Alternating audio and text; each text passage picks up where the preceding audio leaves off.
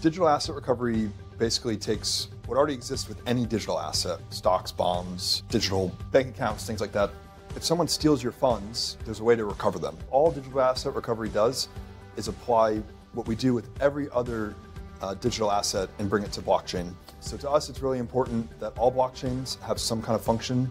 Uh, otherwise, uh, this kind of mantra of not your keys, not your coins, just means that uh, the person that can perform the biggest cyber attack gets rewarded the most. If a cyber attack occurs, we can just take the money right back. With digital asset recovery, hopefully we can disincentivize a lot of attacks and attackers from performing what, what has caused a lot of reputational damage to the industry.